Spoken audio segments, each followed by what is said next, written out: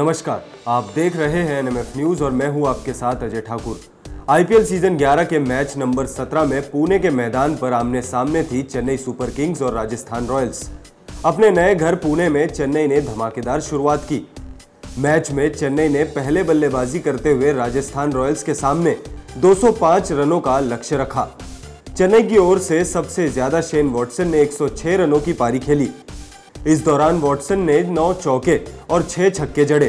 Watson के अलावा रैना ने 46 और ब्रावो ने 24 रनों की पारी खेली। राजस्थान की ओर से श्रेयस गोपाल ने तीन तो वही बेन लॉगलिन ने दो विकेट चटकाए। 205 रनों के लक्ष्य का पीछा करने उतरी राजस्थान रॉयल्स अपने 20 ओवर में महज 140 ही रन बना सकी। राजस्थान की ओर से सबसे ज़्यादा 45 रनों की पारी बेन स्टोक्स के बल्ले से निकली।